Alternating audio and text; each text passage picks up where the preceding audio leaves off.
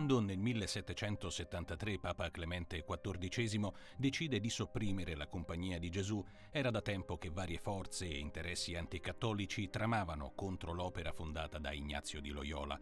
Sulla morte e la rinascita dei gesuiti a cavallo tra il Settecento e l'Ottocento si è concentrato il recente colloquio internazionale svoltosi all'Università Gregoriana di Roma.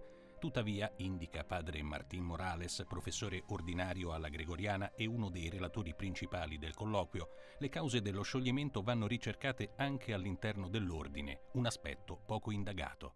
Forse se la compagnia non veniva soppressa doveva intraprendere una riforma interna all'ordine per poter sopravvivere davanti alla modernità, cosa che non ha fatto perché la soppressione ha evitato il processo di riforma o di chiusura interna per esaurimento del, del, del, del proprio ordine. Dissolta la compagnia si apre un vuoto che in diverse circostanze si cerca rapidamente di colmare. Padre Miguel Coy, docente incaricato alla Gregoriana, individua due momenti che preludono alla rinascita dei Gesuiti.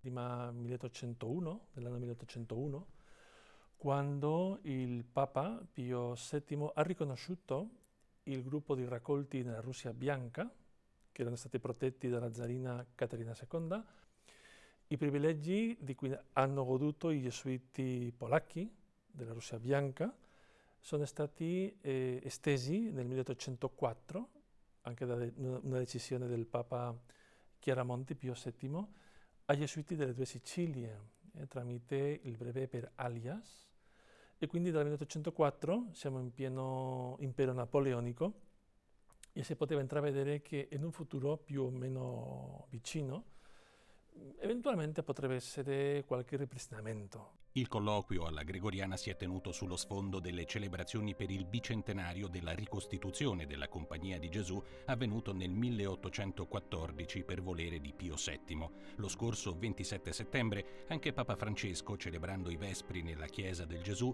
aveva voluto ricordare la prova patita dal suo ordine. Davanti alla perdita di tutto, perfino della loro identità pubblica, non hanno fatto resistenza alla volontà di Dio, non hanno resistito al conflitto cercando di salvare se stessi. La compagnia, e questo è bello, ha vissuto il conflitto fino in fondo, senza ridurlo. Ha vissuto l'umiliazione con Cristo umiliato. Ha obbedito le parole del Santo Padre, e devo dire, eh, non, non, soltanto perché sono parole del Santo Padre, ma anche hanno una, una pertinenza storica molto, molto, grande. La compagnia, eh, si sa, è, è un'istituzione che deve, deve, essere molto legata eh, alla, alla, alla, per un voto speciale, poi tra l'altro al Santo Padre, quindi eh, penso io che non aveva altre opportunità, altre, altre possibilità che eh, accettare quest'ordine, forse senz'altro l'ordine più difficile di, di, di accettare, che era la, la propria dissoluzione, la propria morte in definitiva che poi ha visto, ringraziando Dio, una, una, una ricostituzione 40 anni dopo.